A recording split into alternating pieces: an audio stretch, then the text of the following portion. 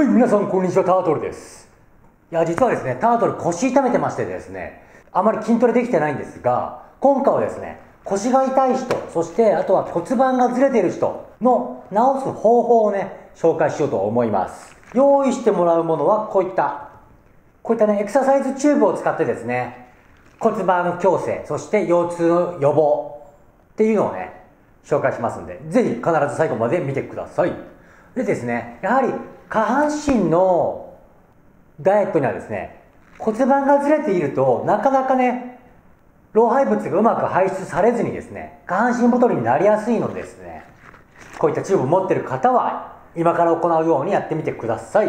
まずこのチューブをですね、腰骨の少し下にきつめに巻きます。こういう感じで。きつめに引っ張ってですね、ギュッと折り込んで、こういった感じで骨盤に留めます。これでですね、まずは足踏みです。こういった感じで、腰に手を置いて、ゴムがずれないように、足踏みをします。これをですね、だいたいまあ30秒ぐらい、足踏みをしていきます。でちょっと省略します。で、今度はですね、体操座りの足の姿勢で寝ます。そしたら、ゴムがね、少し上がってきやすいんで、手をゴムのところに置いてですね、膝を左右に倒してですね、骨盤のズレをね、直していきます。こういう感じです。大体骨盤がずれている方っていうのは、どっちかのね、倒す方向が難しいです。片っぽは足がつくけど、片っぽは足がつかない。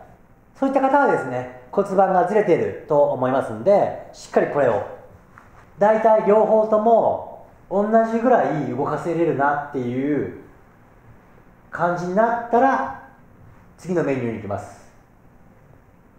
タートルの場合はちょっと右の腰が痛いんで、左に足を倒すのが、こっちがね、引っ張られてる感があって痛いです。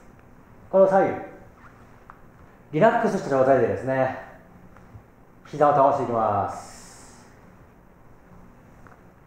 はい、OK。はい、今度はですね、この腰にゴムを巻いたまま、よくですね、骨盤歩きとかってよく雑誌とかに出てると思うんですが、その時にこういったゴムを巻いてね、骨盤固定してやった方が、はるかにね、骨盤のズレが治りますんで、必ず骨盤歩きするときは必ず腰にゴムを巻いてください。こういったまま骨盤歩きします。歩きでも下がりますからね。下がりますから。で、今度は歩きます。こういった感じで、しっかり胸張ってですね、まだ下がります。この骨盤歩きするときにですね、できるだけ大きく進んだ方が骨盤整います。大きく。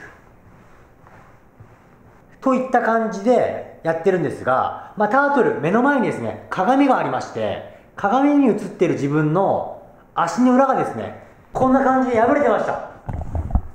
今日もご視聴ありがとうございました。